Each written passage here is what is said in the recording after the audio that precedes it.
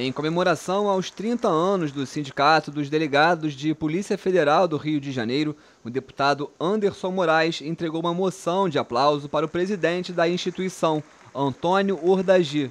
A cerimônia aconteceu no plenário do Palácio Tiradentes, antiga sede da Assembleia Legislativa, e contou com a presença de autoridades e delegados federais que atuam no Estado.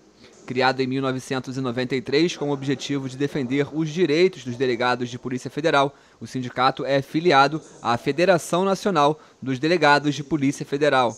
A instituição também atua realizando reuniões com representantes do Poder Legislativo, de órgãos da administração pública e da sociedade civil.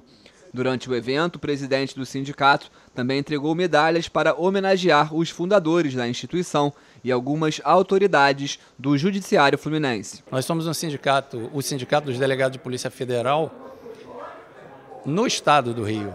Então, é, esse reconhecimento por parte da população é, é muito importante para nós.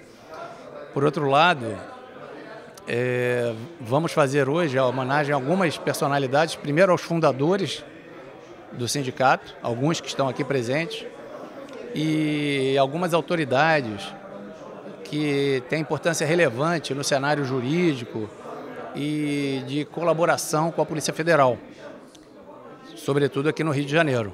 Então, para eles, é, a gente vai fazer essa homenagem, é um privilégio para nós. Autor da comenda, o deputado Anderson Moraes, falou sobre a importância do Parlamento Fluminense prestar o devido reconhecimento a uma instituição tão importante para o Estado no que diz respeito à segurança pública.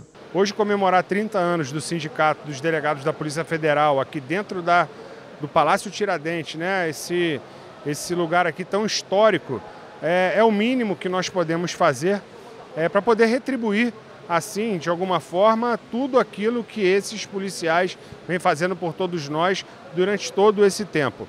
É, tive a oportunidade de conhecer o presidente do sindicato, que é o doutor Ordaci, uma pessoa extremamente íntegra e que é, nos fez essa solicitação para que possamos comemorar essa data tão importante aqui. E hoje, sem dúvida nenhuma, teremos uma festa maravilhosa é, em comemoração desses 30 anos e mais uma vez aqui eu quero reforçar que o nosso mandato ele vem é, de encontro em apoiar de forma incondicional todas as forças de segurança do nosso Estado.